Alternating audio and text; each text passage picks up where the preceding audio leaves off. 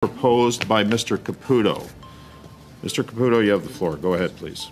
Thank you, Mr. Chair. I've aged a little bit, maybe grown a bit of a beard since we started this meeting.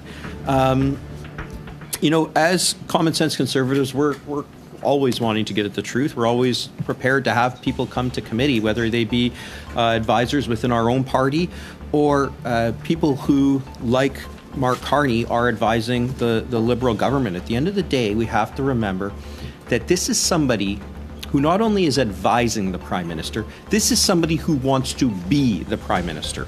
So it's a bit disingenuous for the liberals to compare apples to oranges and say, well, we want this person, we want this person, and they should all come here.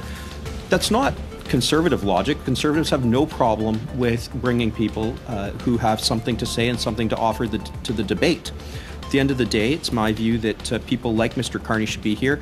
Um, he wants to become prime minister someday. That's his prerogative. He wants to advise the Liberal government and be the de facto finance minister. That's his prerogative. But at the end of the day, it's my view that he is in multiple conflicts of interest not even apparent conflicts of interest. He's in multiple conflicts of interest.